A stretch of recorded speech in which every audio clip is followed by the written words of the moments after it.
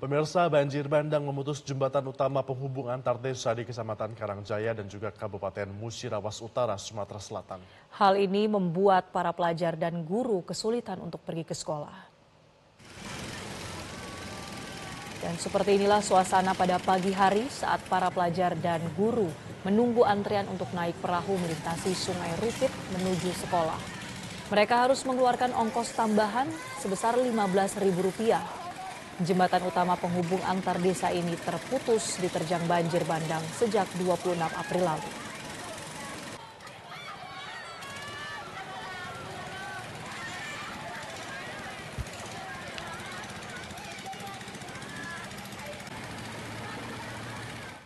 Jelajahi cara baru mendapatkan informasi. Download Metro TV Extend sekarang.